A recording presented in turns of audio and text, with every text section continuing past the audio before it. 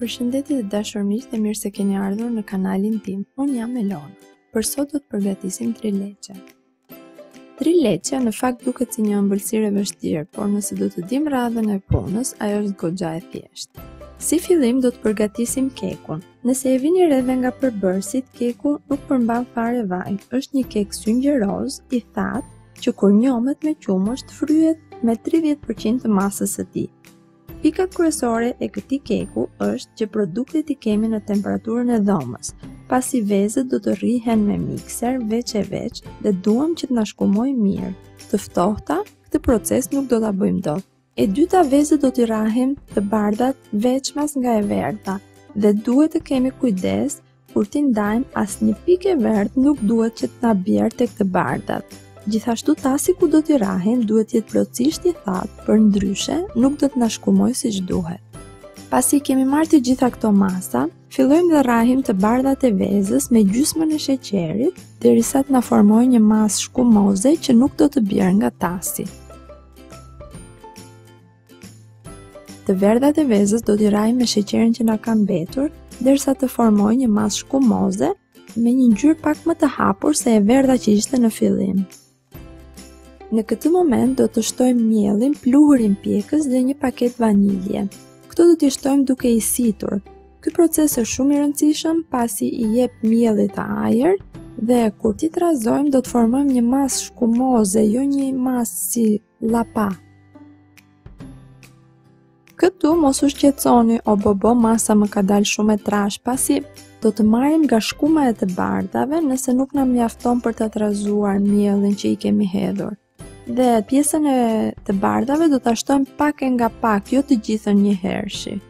Duke e trazuar nga poshtë lart, nga poshtë lart, vazhdimisht, pasi nuk duam që t'ia shuajmë shkumën që ka formuar e bardha.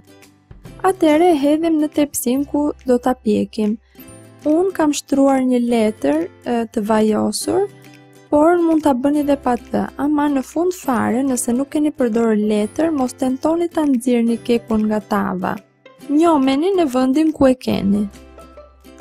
E fusim në furrë dhe e pjekim në temperaturën që piqni kekun zakonisht. Nuk do t'ju them piqeni me 180 ose me 200 gradë, pasi çdo amvisë e njeh shumë mirë furrën e saj. Unë kur e kam marrë furrën për herë të parë, më është dashur 2-3 herë të pjek kek dhe të eksperimentoj që furra ime e pjekka kekun në 210 gradë dhe jo në 180.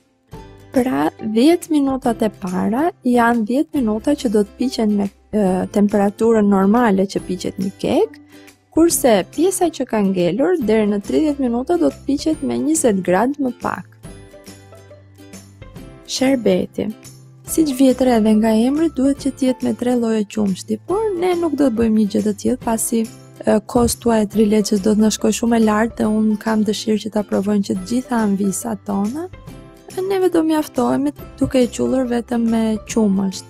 Pra 4 gota qumësht dhe 4 lugë sheqer.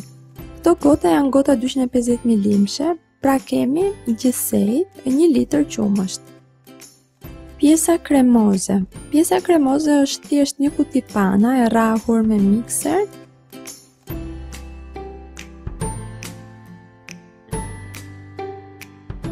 Kekun pasi e kemi njomur me sherbetin e qumshtit, i hedhim pjesën kremoze të panës dhe e vendosim në frigorifer përgjatë gjithë kohës që do të përgatisim kremin karamel.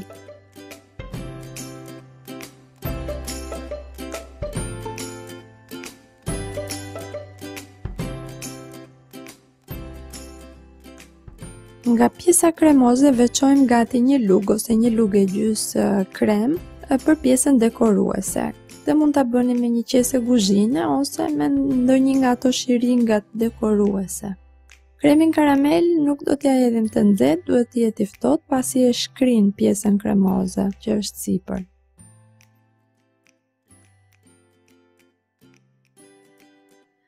Krem karameli. Krem karameli është shumë e thjeshtë dhe këtë recetë mund ta përdorni në të gjitha ëmbëlsirat e tjera që të dëshironi. 7 lugë sheqer i hedhim në një tigan të cekët dhe nuk i prekim fare derisa sheqeri të na lëshohet nga tava dhe të fillojë të marrë atë ngjyrën e bukur të karamelit. Kur e shikojmë që sheqeri ka marrë ngjyrë dhe është lëshuar, atëherë fillojmë e trazojmë. E trazojmë mirë e mirë dhe kur e shikojmë që është tretur plotësisht, i shtojmë gjysmë luge gjalpë. Gjysëm luge gjalpë, pasi kjo do t'i japi masës një pamje më të shkëlqyshme.